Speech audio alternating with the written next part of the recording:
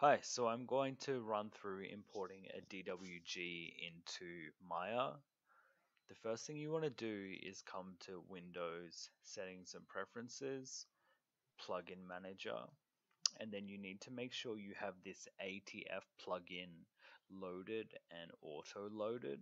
So this will allow for the cross-platform use of Autodesk files such as DWGs, which we're going to move from AutoCAD into Maya. And then if these weren't ticked, tick them and then click refresh and then close out of that.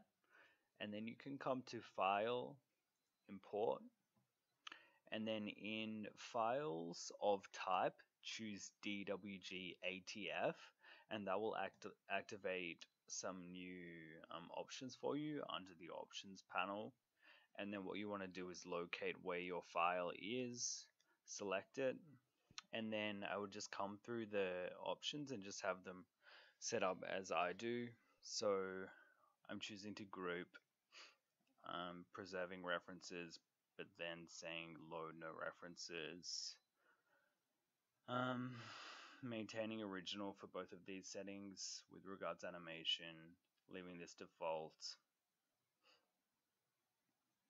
And then here, um, enable symmetric layer processing. And then for tessellate objects, I'm going to choose ATF tessellation and just leave this as default. And then my tolerance is at 0.001 and my separation is by layers and then I'm going to click import and that's brought my my path in which is what I wanted to take out of AutoCAD.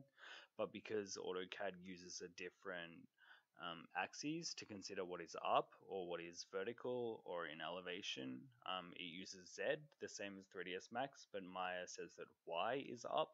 So to get the path in place all I want to do is have my rotate activated come up to the X um, you may need to expand this these options with this little button here.